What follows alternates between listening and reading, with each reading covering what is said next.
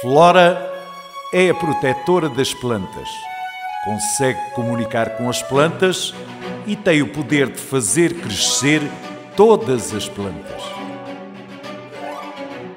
O Capitão Mundo tem o poder da sensibilização ambiental. Tem o poder de semear ideias que protegem o mundo.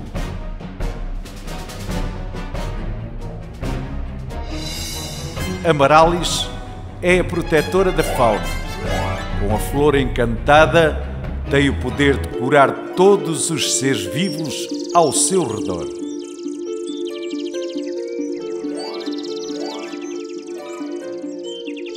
Super Negral é o protetor dos habitats.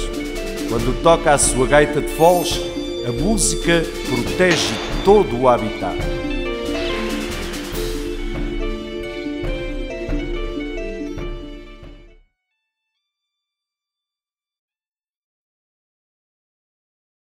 Sabias que nesta área protegida existem túmulos pré-históricos?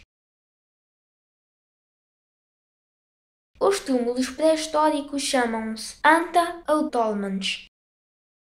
Anta é um grupo de rochas de grande dimensão constituídos por uma laje assente sobre três ou mais pedras dispostas na posição vertical, formando uma câmara.